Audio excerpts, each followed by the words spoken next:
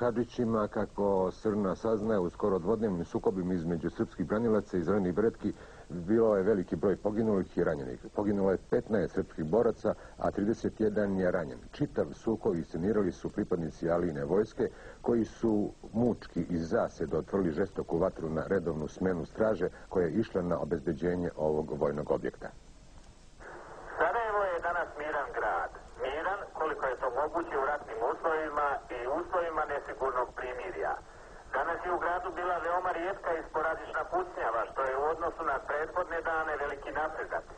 Jedino u srpskom kriznom štabu u Ogošći tvrde da su ih muslimanske snage sa sarajevske strane kobilje glave povremeno tukle bacačima.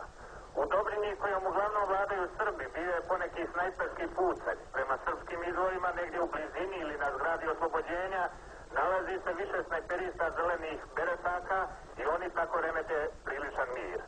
U Hadžićima se svode bilansi jučerašnjeg krvavog okršaja nastalog nakon što su muslimanske snage sa Igmana obrušile artiljerijsku paljbu na ovaj grad koji kontrolišu Srbi, a potom muslimani pokušali uzeti ranije ispražnjenu kasanu Jugoslovenske narodne armije. Tragičan bilans jučerašnjih sukoba je 15 poginulih na srpskoj strani i najmanje 27 mrtvih na muslimanskoj. Dramatično je međutim u Bradini, naselju na domak Sarajeva, na samom Igman sjedu.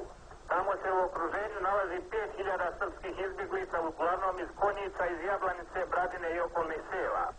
Interesantno je da ovim nesrećnim ljudima, kojima, kako srpski izvori kažu, prijeti potpuno uništenje, u pomoć pristižu Hrvati. Naime, prema nekim informacijama, Hrvati pokušavaju iz muslimanskog obruča izvući bar srpske žene i djecu. Eto, takav je ovaj rat, stravičan i okrutan, a kada će stići mir, zavisit će najvjerovatnije od toga koliko dogovori u Lisabonu budu plodni. U hrvatskom selu Grebnica na rubu srpske opštine Bosanski Šamac, severno od Modriče, i danas se vode borbe.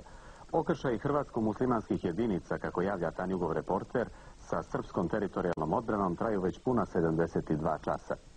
U trodnevnim borbama kod Bosanskog Šamca, prema informacijama kriznog štaba Srpske opštine, poginulo je pet srpskih boraca, dok je više njih ranjeno. Okršaj između teritorijalne odbrane Bosne i Hercegovine, lojalne nepotpunom predsjedništvu te republike i srpskih teritorijalaca vođeni su jutros u selima Požarnica i Kovačevo, istočno od Tuzle. A u opštini Kladanj, južno od Tuzle, počeo je progon i hapšenje viđenih Srba. Na Brčanskom ratištu već drugi dan vlada zatišje, naravno u relativnom smislu, budući da se pješadijsko naružanje povremeno oglašava. Poneki snajperski metak prozviždi kroz guste lipove krošnje, uzbuđuje, budući da su u ovih 26 dana rata doživjeli mnogo gore stvari.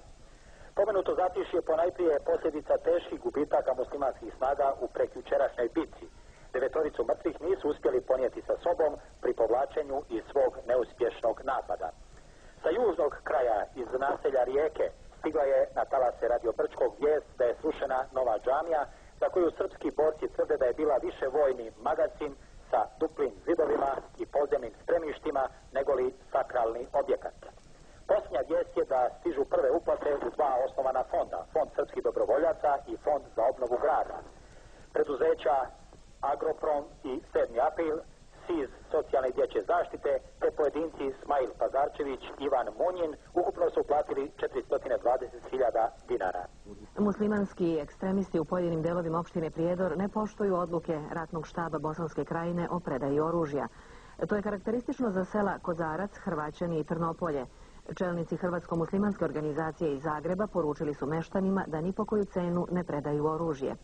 Među pripadnicima zelenih beretki u tom regionu ima panike jer ekstremisti streljaju one koji pokušavaju da vrate oružje. Na Višegradskom području, za razliku od susednog Goražda, Čajniča, Rogatice i Srebrenice, već duže nema većih sukoba i uglavnom je mirno. Mir ponekad remete pripadnici zelenih beretki u okolini Zemljica, Kamenice i Štitareva, najudaljenijih višegradskih sela u kanjonu Drine.